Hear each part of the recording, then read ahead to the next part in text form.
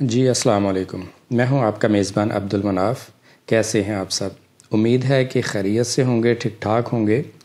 नाजरीन, बजट, तनख्वाहों और पेंशन में इजाफे के हवाले से ताज़ा तरीन ख़बरों के साथ हाजिर हुआ हूँ। नाजरीन, वफाकी वज़ी ख़जाना नौ जून को कौमी असम्बली में बजट पेश करेंगे। नए फाइनेंशियल ईयर के बजट की तैयारी पूरे ज़ोर शोर से जारी है और बहुत से मामला को हतमी शक्ल दे दी गई है। सरकारी मुलाजमीन और पेंशनर्स जानना चाहते हैं कि उनकी सैलरी और पेंशन में कितना इजाफा होने जा रहा है।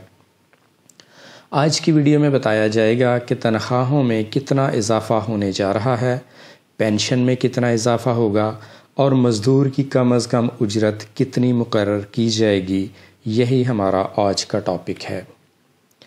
हम सब जानते हैं कि इस वक्त महँगाई अपने अरूज पर है। तमाम अशिया की कीमतें आसमान से बातें कर रही हैं।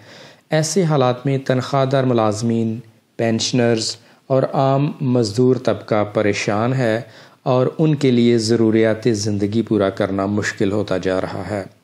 गवर्नमेंट को इन हालात का अंदाज़ा है। लिहाजा मुश्किल हालात के बावजूद गवर्नमेंट आवाम को माली साल 2023-24 के बजट में रिलीफ देना चाहती है। इस सिलसिले में क्या इकदाम उठाए जा रहे हैं, आइए देखते हैं।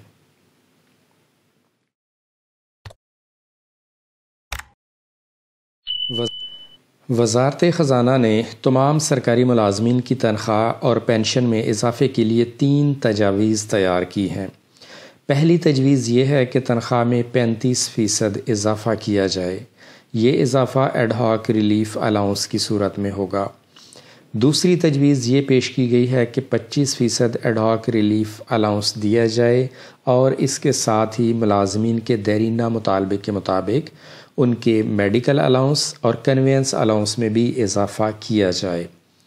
तीसरी तजवीज़ यह है कि तनख्वाह में 20 फ़ीसद इजाफ़ा करके इसे बेसिक पे में मर्ज कर दिया जाए यानी मुलाजमीन के स्केल रिवाइज़ कर दिए जाएँ।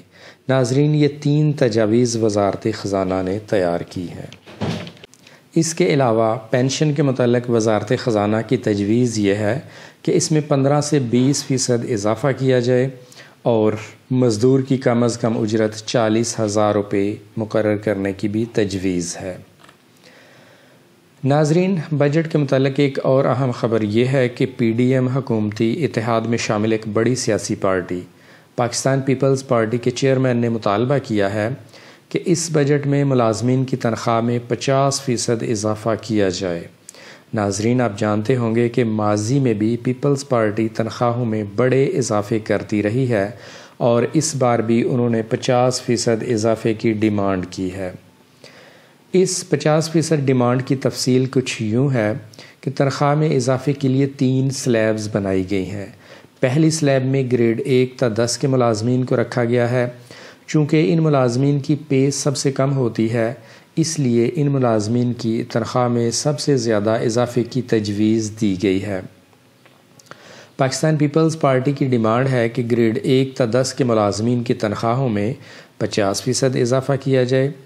दूसरी स्लैब के मुताबिक ग्रेड एक, ग्रेड ग्यारह ता सोलह के मुलाजमीन की तनख्वाहों में पच्चीस फ़ीसद और ग्रेड सत्रह तक बाईस के मुलाजमीन की तनख्वाहों में दस फ़ीसद इजाफे की डिमांड है।